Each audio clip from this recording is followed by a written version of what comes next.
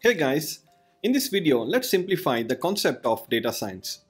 If you search online for what is data science, you will get several different definitions like data science is the process of extracting insights from data or data science is a method of predicting future by analyzing existing data or data science is the field of transforming raw data into useful insights etc etc.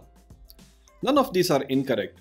However, if we had to explain data science in the most simplest of terms, then we can say that data science is the field of using data to solve a problem. The problem can be anything, such as how to grow a business, or how to increase your revenue, or how to sell a product, how to recommend appropriate movies, or how to recommend appropriate products to your customers, how to minimize the cost of a company, how to showcase best search results in Google or YouTube or any other search engine. Basically, the answers to the most trickiest of questions can be obtained by applying the methods of data science. The ultimate goal of data science is to help you take better decisions. For example, Netflix uses data science methods to identify the movies which its customers are most likely to watch. Based on this information, Netflix recommends different movies to each of its customers. Financial institutions like bank or insurance companies have always collected huge amount of customer data. But by using the methods of data science, they are now able to transform these raw data into useful insights, which in turn helps them to better understand their customers, which helps them to sell more new products and features to their customers, hence increasing their revenue. To sum up, data science is just the field of applying scientific methods to data to solve a problem.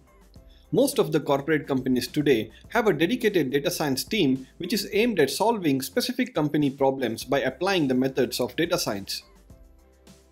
In order to completely understand data science, you need to first try to understand how a life cycle of data science project looks like. Generally, there are six stages in the data science project. Let's try to understand them. The first stage is understanding the requirement or understanding what the problem is. Before starting the project, we should first know what we are trying to achieve or what is a problem that we are trying to solve. Asking the right questions is very important during this stage.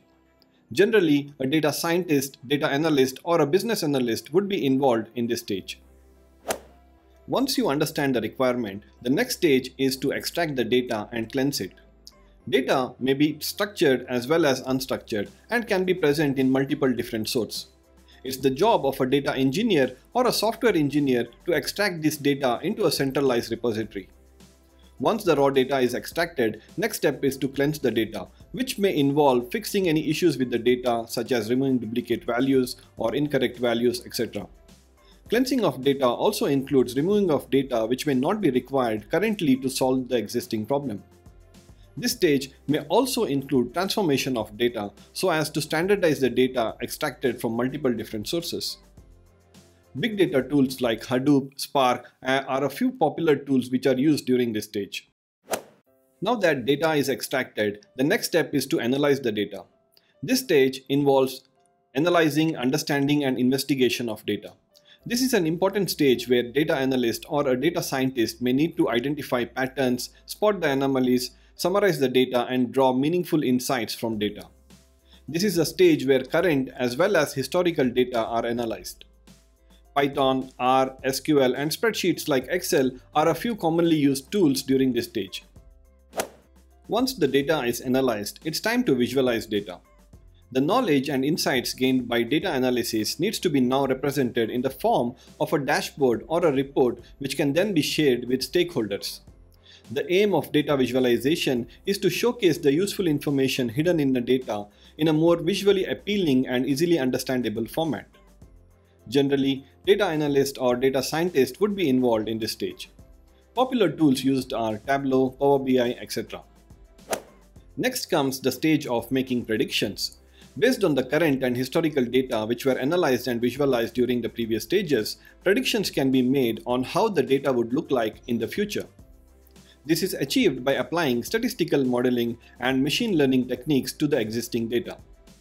For example, banks can apply predictive analytics to customer data to identify the potential customers who are more likely to apply for a loan or purchase a credit card. This way, bank will now know the customers whom they need to target in order to gain more revenue. It's generally the data scientists who are involved during the predictive analytics phase.